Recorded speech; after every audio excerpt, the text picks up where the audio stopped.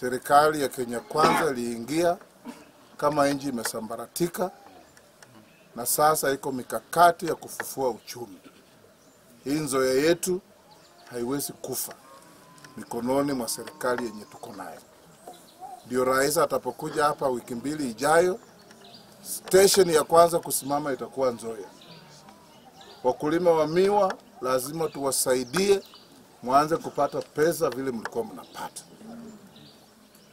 Mwaka jana mbolea ilikuwa shilingi elfu sita mia saba. Sasa na subsidy ziko elfu tatu mia tano. Serikali inajaribu mwaka ujao iteremuke ifike elfu tatu au elfu mbili mia tano. Ikiendelea kuteremuka ili kusaidia mwananchi wa kawaida.